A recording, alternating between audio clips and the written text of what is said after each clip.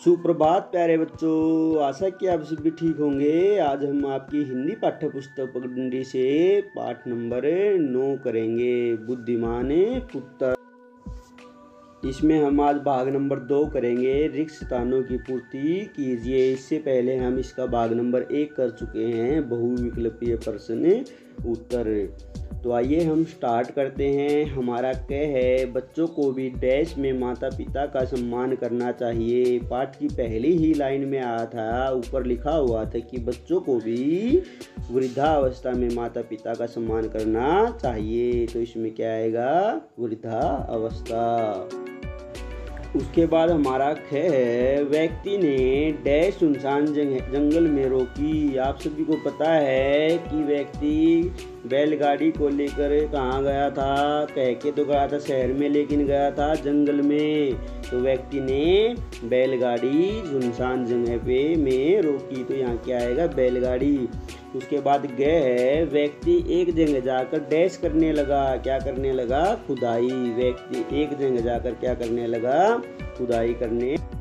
उसके बाद गए है बालक डैश से फावड़ा ले आया। तो बालक, आपको पता है, जब उसका पिता गड्ढा खोद रहा था तो उसने पूछा, क्या गाड़ी में एक और फावड़ा है? तो बालक किससे फावड़ा लेकर आया? गाड़ी से। बालक गाड़ी से एक फावड़ा, गाड़ी से फावड़ा ले आया। है हमारा, मैं अभी से आपकी डैश तैयार कर रहा हूँ। तो बालक ने पूछा, आप क्या कर रहे हो? उसने कहा था मैं कब्र तैयार कर रहा हूँ। तो बालक भी क्या करने लगा? गड्ढा खोदने लगा और उसने कहा, मैं अभी से आपकी कब्र तैयार कर रहा हूँ।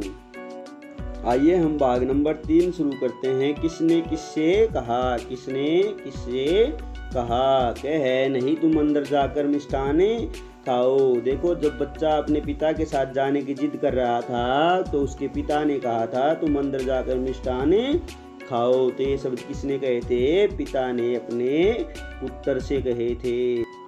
उसके बाद हमारा ख है, पुत्र, उनके साथ मत जाओ। तो उसकी माता जी उसकी बातों को सुन रही थी, जब बच्चा जिद कर रहा था। तो माता जी ने कहा, पुत्र, उनके साथ मत जाओ। तो ये शब्द किसने कहे थे? माता जी ने उत्तर से माता जी ने उत्तर से गए है, दादाजी के लिए।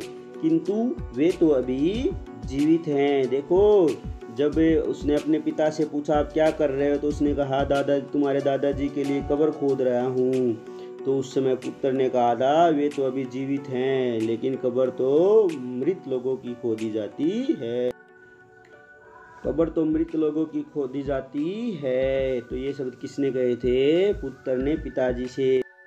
तो प्यारे बच्चों, आज के लिए इतना ही। आप ऐसे ही बने रहिए हमारे चैनल पर और मैं लगातार आपके लिए वीडियो डाल रहा हूँ। उसके बाद हम आप, आपके लिए इसके प्रश्न उत्तर लेकर हाजिर होंगे। तो आप सभी ने क्या करना है, इनको अपनी साफ़ कॉपी में लिखना है। आप सभी का बहुत बहुत धन्यवाद।